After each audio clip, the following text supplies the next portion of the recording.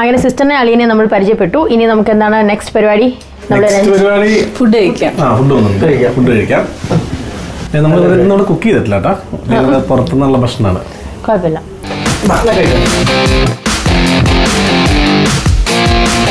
ഈ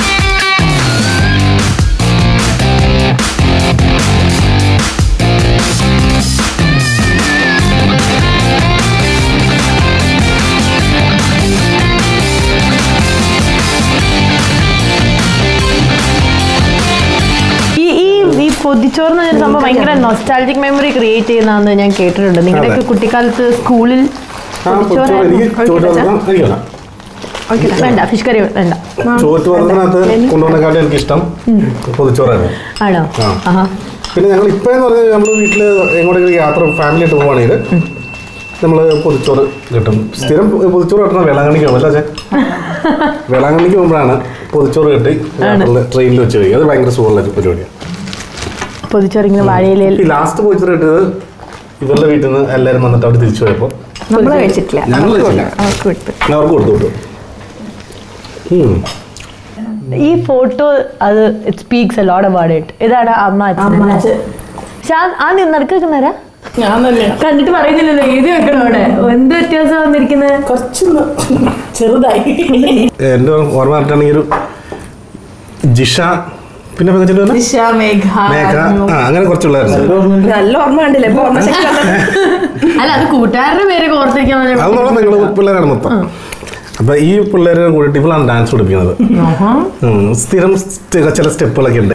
ഈ മാർഗങ്ങൾ ശരിക്കും പറയുന്നതാണോ വെറുതെ അല്ല ശരിക്കും നല്ല രസമാണ് ആ സമയത്ത് അങ്ങനെ കണ്ടുപിടിച്ചു അങ്ങനെ മാർഗക്കളി അങ്ങനെ നിന്നില്ലെങ്കിൽ അവരെന്നെ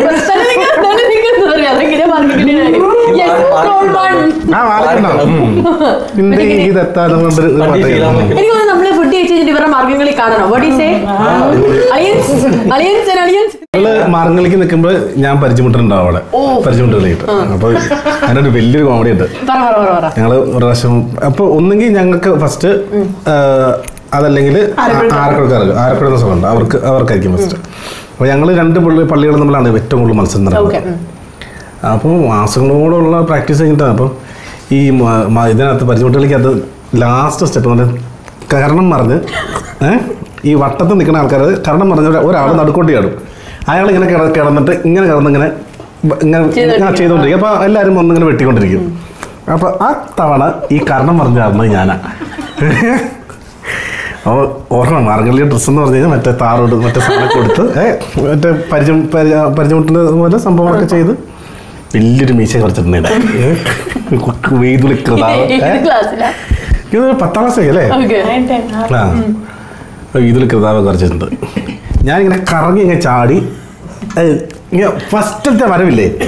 ആ വരവിച്ച ടൈമിങ് മാറി എല്ലാവരും ആദ്യം ഒന്ന് തലക്കടിക്കും പിന്നെ അങ്ങ് ബാക്കിലേക്ക് പോണ സമയത്താണ് ഇമാര് വീണ്ടും വന്നിട്ട് ഈ പരി പരിചയമില്ലാണ്ട് എന്റെ. കറക്റ്റ് കാലിൽ ഈ പുല്ലൂരില്ലേ? അതിന്റെ ഒറ്റ വിട്ട് ആ കേൾക്കണത്? പരിപാടി പൊളിഞ്ഞു പോലോ? അപ്പൊ എന്തായാലും പിടിച്ചു നിന്നേ പറ്റുള്ളൂ. പിന്നെ വേദന എടുത്തിട്ട് വരെ ഞാൻ ഇങ്ങനെ കണ്ട് സംഭവം വെട്ടി തീർത്തു. വെട്ടി തീർന്ന് കഴിഞ്ഞിട്ട് പിന്നത്തെ കട്ടെന്ന് പറഞ്ഞാൽ മൂവാറ്റുപുഴ നിർമ്മല മെഡിക്കൽ സെന്ററാണ് ഞാൻ വെട്ടിയുടെ ഇങ്ങോട്ട് വിളിക്കാം അല്ലേ? അളിയ എന്നെ മറ്റേ ഓട്ടോറിക്ഷയിൽ കൊണ്ടുവന്ന് ഇറക്കുക. നിർമ്മല മെഡിക്കൽ സെന്ററിൽ എന്നെ ഈ വൃത്തിയായിട്ടവന്മാർക്ക് ഒരു ഷർട്ട് ഇടിക്കുന്നു പോകുമ്പോൾ എന്നെ ആ കോലത്തിൽ അവിടെ കൊണ്ടുപോയി വലിയ വിഷം വെച്ച് സ്ട്രക്ചറിൽ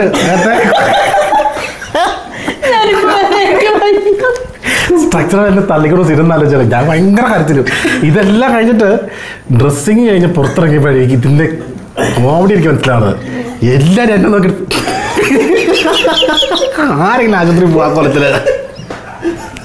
ഇത് യുവജനോത്സവം വലിയ പരിപാടി ഇല്ലാത്ത കാരണം പുറത്തുള്ള ആൾക്കാർ വെള്ളമുണ്ട് താറുടുത്ത് ഞങ്ങൾ കൊടുത്ത് കച്ച കെട്ടിയേക്കണ്